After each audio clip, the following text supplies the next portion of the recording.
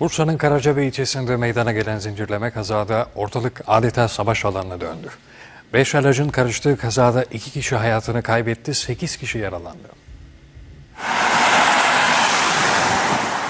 Bursa Karacabey Karayolu'nda meydana gelen zincirleme kazada iki kişi hayatını kaybetti, sekiz kişi yaralandı.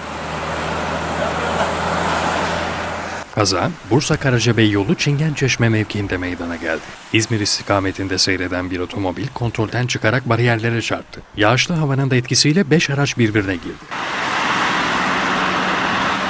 Ortalığın savaş alanına döndüğü kazada yaralanan 10 kişi ambulanslarla Bursa ve Karacabey'deki hastanelere kaldırıldı. Yaralılardan Ayşe Gür ve Hüseyin Baran tüm müdahalelere rağmen kurtarılamadı. İleriden duruyor.